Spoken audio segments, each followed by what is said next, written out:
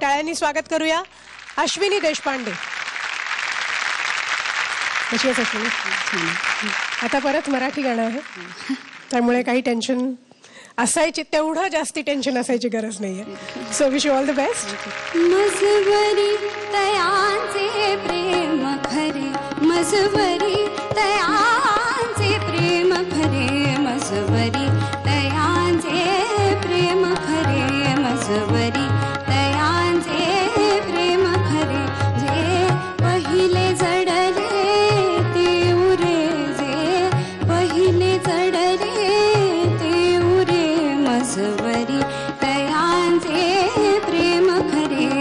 खरे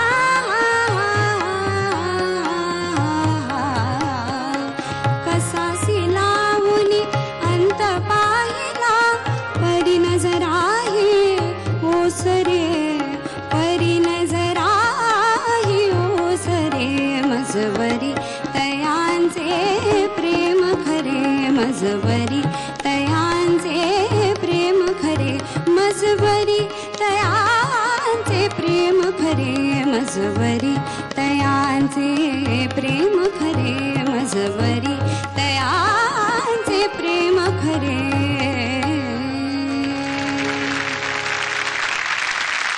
खूप छान झालं. आणि तू म्हणजे तुझ्या होम टेरिटरीवर होतीस त्यामुळे तुला काही ते फटके मारायला एकदम काहीच प्रॉब्लेम नव्हता. खूप छान झालं. छान गेलीस अश्विनी. विशेषतः जिथे ज्याबद्दल तुला रिहर्सलला असं वाटत होतं की या ताना मी घेऊ की नको त्या तू घेतल्यास हे खूप चांगलं केलं कारण ते फार अप्रतिम वाटलं. त्याच्यानंतर अचानक तो लागलेला शुद्ध मध्यम तोही फार छान आला.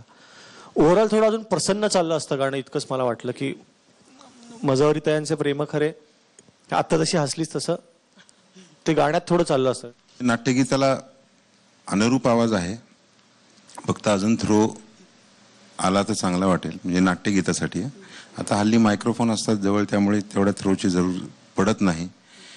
पण जागा सूर सगळ्या गोष्टी छान आल्या. फक्त सलील म्हणतो तसं अजून थोडंसं प्लेझंट आलं असतं तर ते नाट्यसंगीत म्हणजे त्या प्रसंगानुरूप गाणं झालं असतं. आता स्पर्धेतलं गाणं झालं. पण चांगलं होतं छान होतं. तुम्ही जे बोलत ते अतिशय योग्य आहे की थोडासा चोरून आवाज लावल्यासारखा मला वाटला.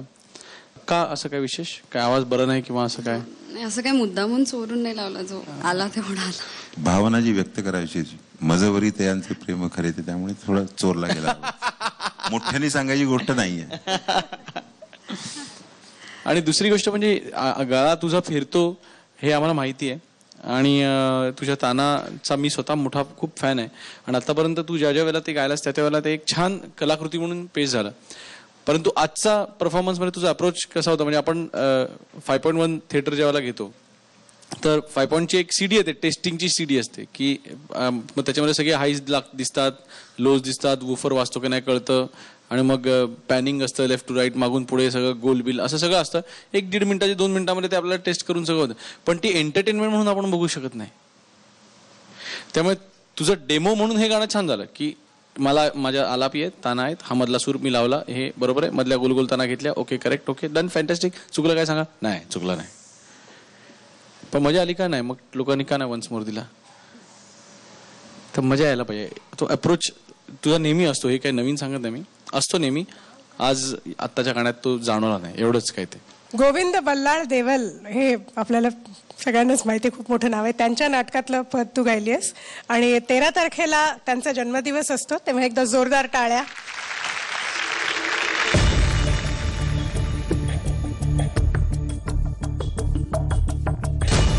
अवधूतनी प दिलाय आणि सलीलनी भ दिलेला आहे.